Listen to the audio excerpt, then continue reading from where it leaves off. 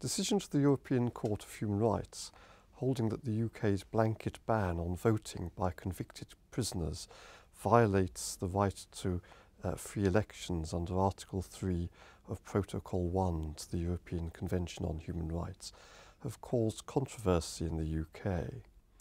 One reason for this is that many people in the UK have a very retributive attitude towards criminals. As a society, we don't seem to be interested in what happens to people once they go behind bars, although Rule 3 of the Prison Rules 1999 says the purpose of the training and treatment of convicted prisoners shall be to encourage and assist them to lead a good and useful life. A second reason uh, for the controversy is that attention has been diverted away from the merits of the issue to a different question. Who should decide whether prisoners are to be allowed to vote? Should it be the Queen in Parliament by way of an Act of Parliament or judges of the European Court of Human Rights? The debate has generated more heat than light and has been the subject of some extravagant rhetorical exaggeration. The Prime Minister, Mr Cameron, said in Parliament in 2010, It makes me physically ill even to contemplate having to give the vote to anyone who is in prison. More soberly, in 2011, the House of Commons resolved by 234 votes to 22 that it noted the relevant decision of the European Court of Human Rights in a case called Hirst and the United Kingdom, in which it held, among other things, that there had been no substantive debate by members of the legislature on the continued justification for maintaining a general restriction on the right of prisoners to vote. It acknowledges the treaty obligations of the UK and is of the opinion that legislative decisions of this nature should be a matter for democratically elected lawmakers and supports the current position in which no prisoner is able to vote except those imprisoned for contempt, default or on remand. Now, I want to try to clarify some of the issues by saying a word or two about each of three questions. The first question is what sort of right is the right to vote and how in a society which long ago adopted a universal adult franchise did prisoners get left out? Secondly, how did the European Court of Human Rights come to decide that the UK's approach to prisoners voting violated the ECHR?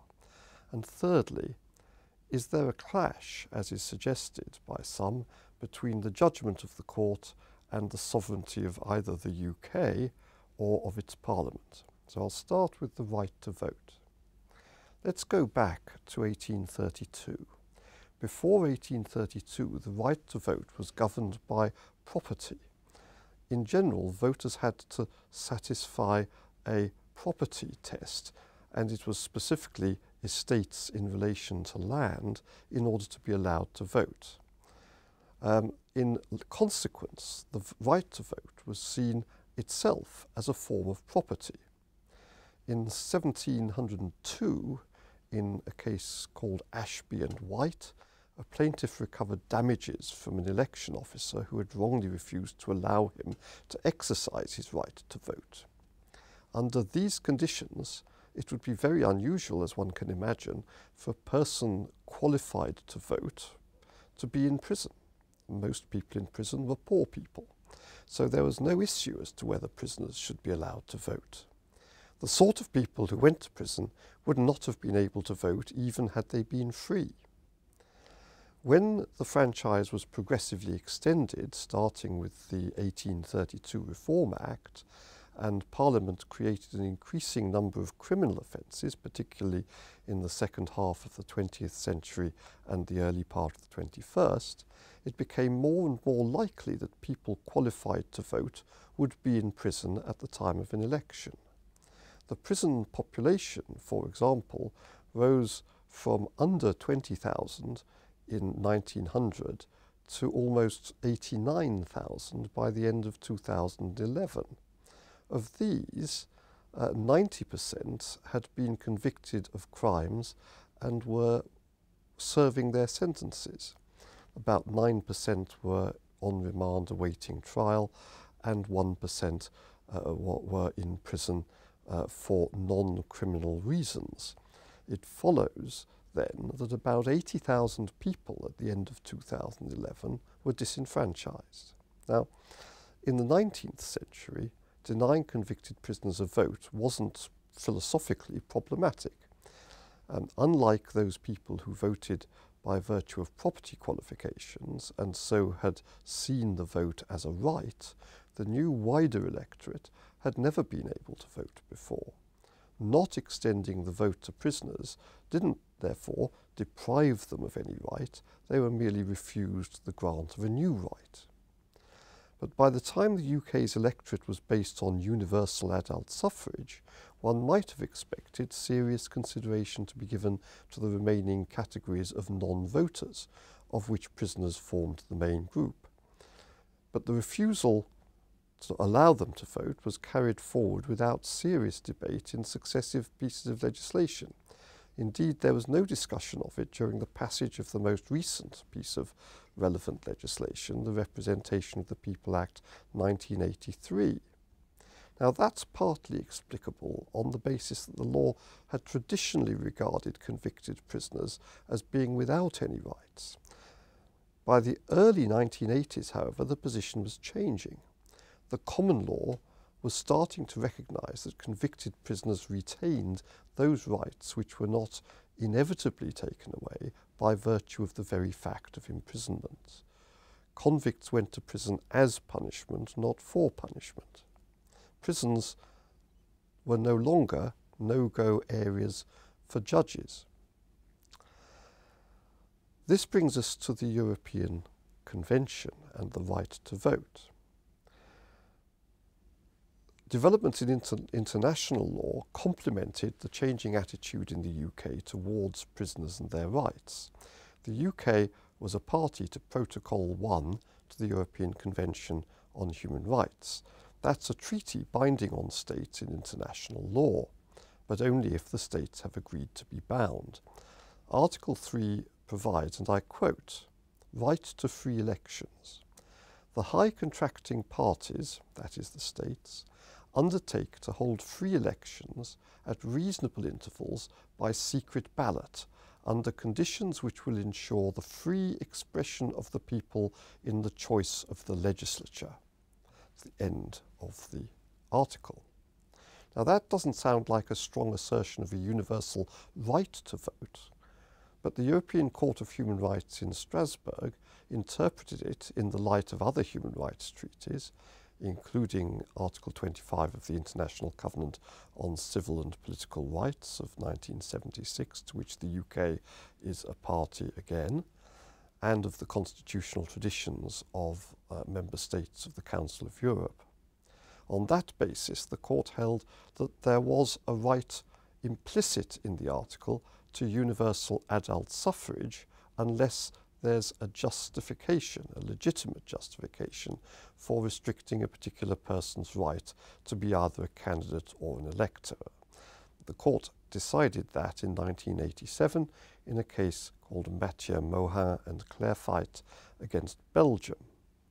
Now, to establish a justification for interfering with the right, a state would have to show that the restriction first served a legitimate aim and secondly was proportionate to it. As thus interpreted, the ECHR reinstates participation in elections for the legislature as a right. But now it's a human right, not a property right. In other words, everyone has the right and states have to justify taking it away from them. It might be justi justifiable, for example, to refuse to allow non-nationals or non-residents to vote.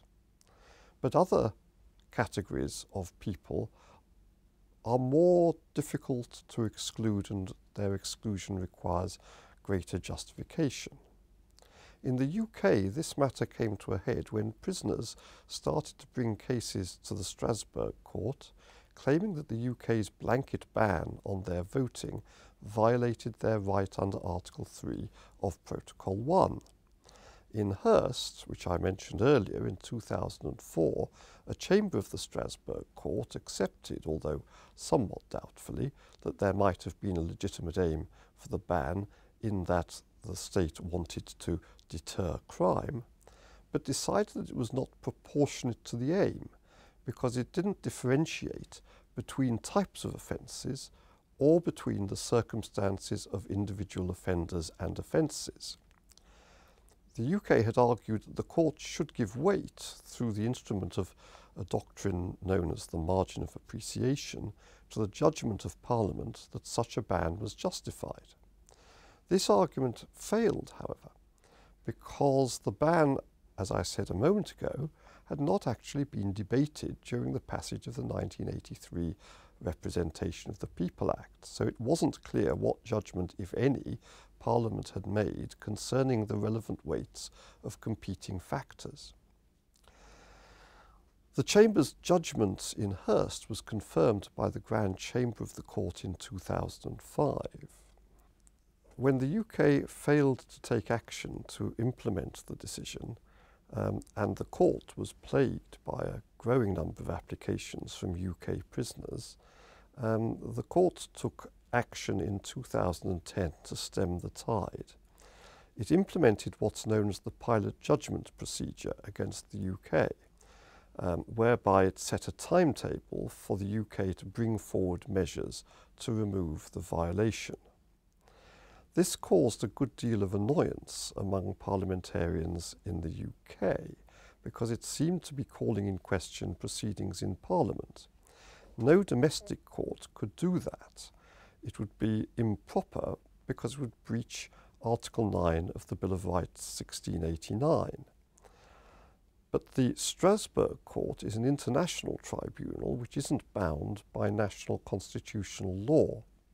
Before the Strasbourg Court, the state is the respondent, not a particular institution of the state. The court has to decide whether the state as a whole is responsible for a violation of a convention.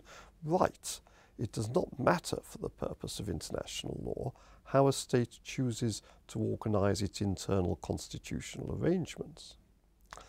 Now, one might ask why should the Strasbourg Court be able to dictate to the UK what its franchise should be? And why should the matter be decided by a judicial rather than legislative body? The answer to both those questions is the same. The Strasbourg Court has that responsibility because the UK conferred it on the court. Under the original form of the ECHR, which the UK uh, ratified in 1950, states could choose whether or not to accept the jurisdiction of the court to receive applications from individuals complaining of violations of their convention rights. The UK accepted that jurisdiction, although not until 1965, and the acceptance took effect in 1966. It then periodically renewed its acceptance of that jurisdiction until the 1990s. A new treaty, Protocol 11 to the Convention, was then agreed by all the members, member states of the Council of Europe, including the UK. It amended the text of the ECHR to provide for the compulsory jurisdiction of the court in respect of individual applications.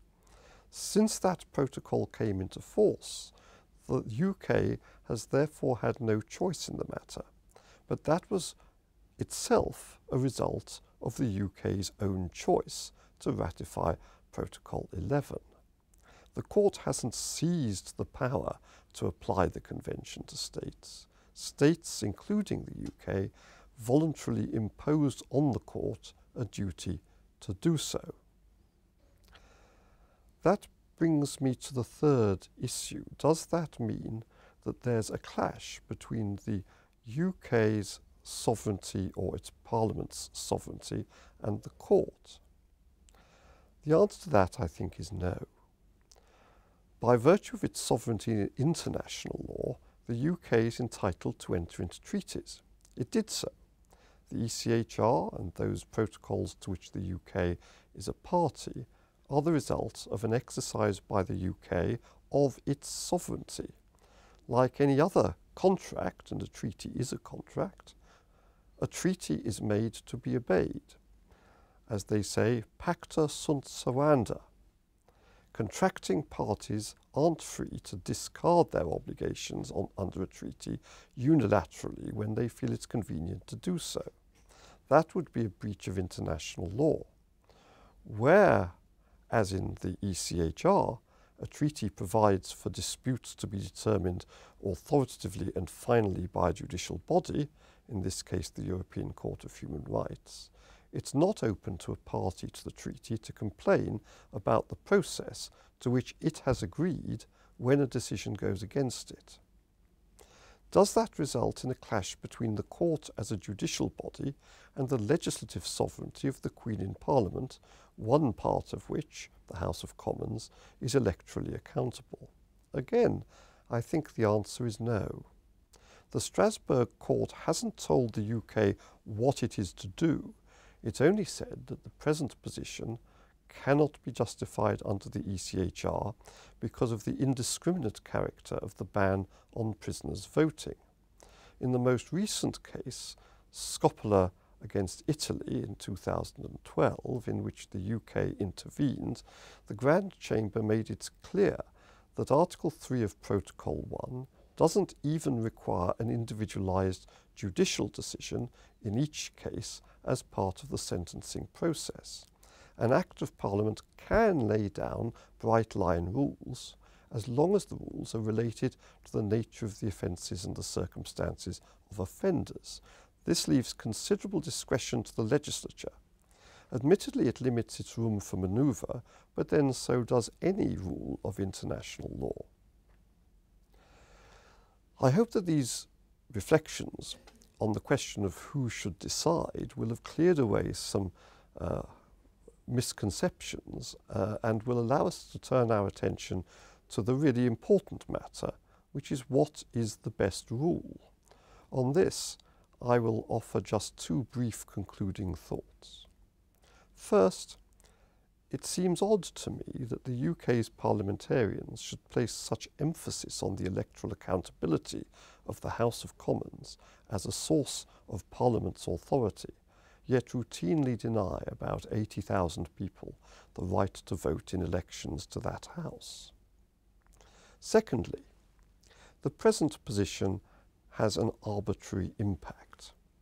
People who begin a sentence the day after an election or are released from prison the day before it can vote. People who are imprisoned for contempt of court and are still in prison can vote. People who are imprisoned for shoplifting or drunken behaviour in public can't. Most curiously, perhaps, people who are fined for stuffing fake ballot papers into ballot boxes but are not imprisoned can vote people imprisoned for helping a terminally ill loved one to end her life voluntarily can't. We really do need, I suggest, to think seriously about the circumstances which justify depriving a person of the right to vote.